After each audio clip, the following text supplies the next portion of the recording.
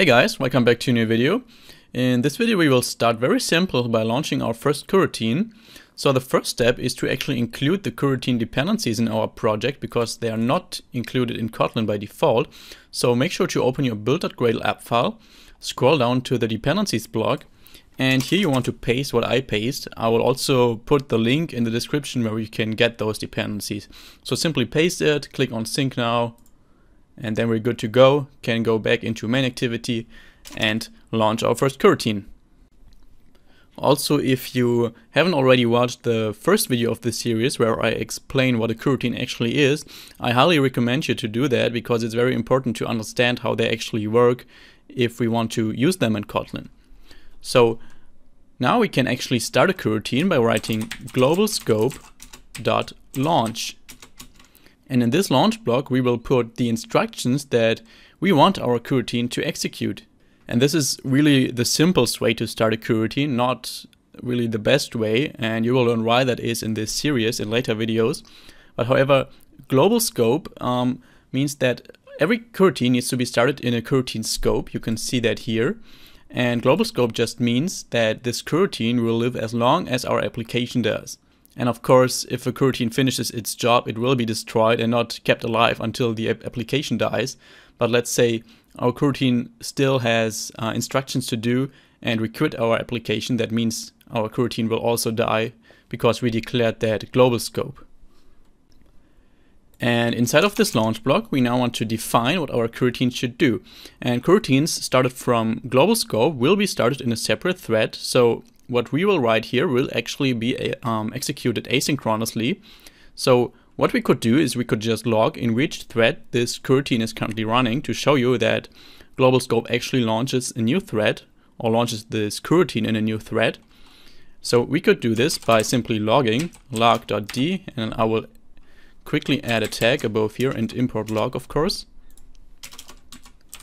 Val tag is equal to main activity then we can we can put that tag here and write coroutine says hello from thread and then we can simply pass the the name of the thread it is currently running in by writing thread dot current thread dot name and just to show you the difference I will copy that line and paste it inside of our onCreate function so not inside of our coroutine and just print hello from thread here. So we can actually see that this line will be executed from a different thread than this line.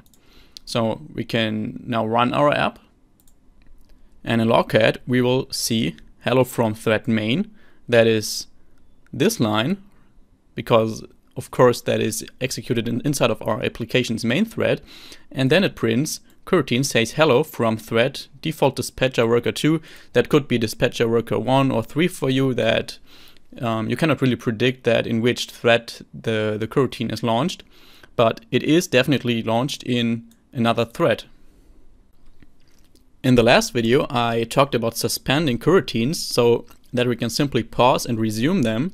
And similar to the sleep function of a thread, which will just block the thread, for a particular amount of milliseconds. Um, coroutines have their own sleep function, which is called delay. So we can just stop our coroutine in the middle of execution by calling delay and entering a number of milliseconds um, for how long we want it to um, be delayed. So for example, let's let's choose 3000 milliseconds, so 3 seconds. And if we now run our app and take a look in logcat, then, we'll, then you will see hello from thread main, and after 3 seconds, it will print coroutine says hello from thread default dispatcher worker 1.